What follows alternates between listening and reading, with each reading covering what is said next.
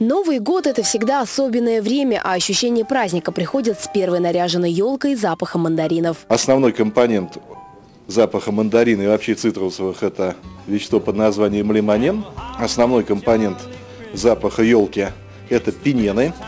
Вот как раз эти запахи погружают нас в ощущение детства. Очень часто запах там э, елки, запах мандаринов, запах там готовящейся в духовке курицы, гуся, утки нужно подчеркнуть, что называется. Он нас как-то вот напоминает э, наше прежнее беззаботное а, момент, когда мы думали, что нам Дед Мороз там принесет велосипед или э, хлопушку или что-нибудь еще. Конечно же, ни один Новый год не обходится без хлопушек, салютов и фейерверков. С 20 декабря по 9 января в Республике Татарстан объявлен противопожарный режим. Необходимо соблюдать ряд правил при обращении с пиротехникой. Например, бенгальские огни можно зажигать в помещении, но не рядом с елкой или другими легко воспламеняющимися предметами. Нужно всегда держать на готове емкость с водой, чтобы в случае чего успеть их затушить. Ну что касается бенгальских огней, есть такая традиция там их тушить новогоднюю ночь в бокале шампанского или в торт засовывать как свечи, вот это делать не нужно, потому что многие продукты сгорания бенгальских огней, они токсичны.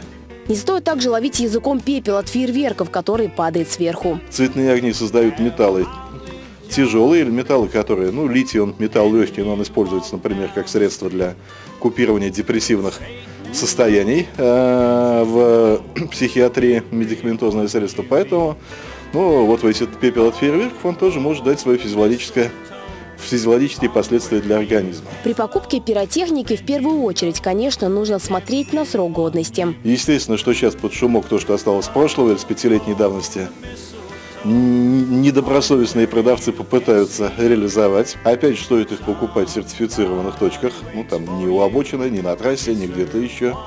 Э, и пользоваться, соответственно, инструкции, которые к ним прилагаются. Самое главное за новогодним столом – умеренность во всем. Важно не потерять над собой контроль от такого изобилия угощений на столе. Не рекомендуется также сочетать некоторые продукты, например, колбасу и майонез. Пару кусочек съели, попробовали, все нормально, так вежливость соблюдена. Несочетаемым продуктом, по сути дела, можно отнести наши классические новогодние блюда типа салата оливье или селедки под шубой, где мы ну, на жирную рыбу или на жирную там колбасу еще изрядно заправляем майонезом. Рекомендуется в праздники пить больше воды, умеренно заниматься спортом и постараться восстановить режим сна до стандартного 8-часового. А самое главное – отдохнуть и набраться сил для предстоящего 2019 года. Анна Глазунова, Ленар Давлетьяров, Univer News.